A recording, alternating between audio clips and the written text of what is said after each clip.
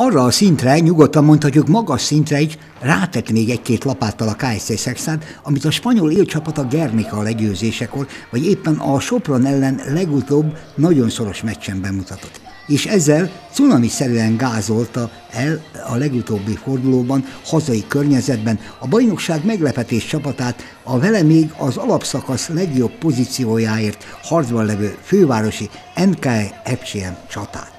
Európa kupában látható agresszivitással és keménységgel védekeztek a szexárdiak, üres dobóhelyzetet alig hagyva az ellenfélnek. Gyorsítmusú ötletekkel, labda nélküli mozgásokkal teli, támadójátékkal pedig szétzilálták, 101 ponttal megszórták a válogatottnál figyelembe vett fiatalokból és nem középszerű légiósokat felvonultató ellenfelet, amely, mint ismeretes, a hazai meccsét még tavaly ősszel megnyerte a KSC ellen.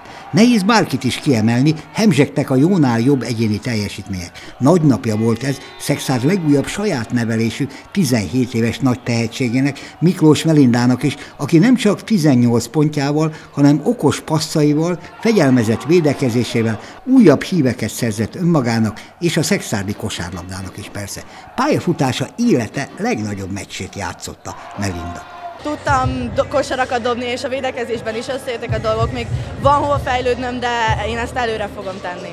Egyéni védekezéséről is kérdeztük a szinte lecserélhetetlen fiatal játékos. Priskovecre kellett koncentrálnom, hogy az ő védekezése, meg a mányokiréka, meg a fiatalokra kellett figyelnem, de mindig összejött az, hogy máson is voltam.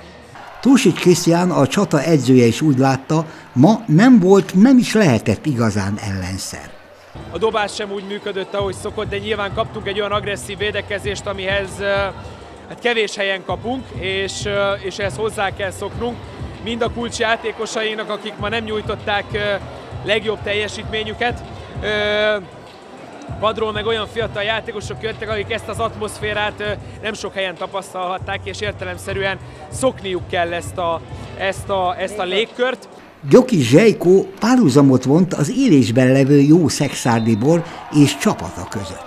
Egy uh, szexárdi bornak, hogy testes jó legyen, kell időkor éren, hordóban kell tartani üvegben, nekünk kell munka év alatt, és uh, azt éreztem akkor először annyira éretten játszunk, vagy jól játszottunk, mint, mint egy jó szexárdi bor.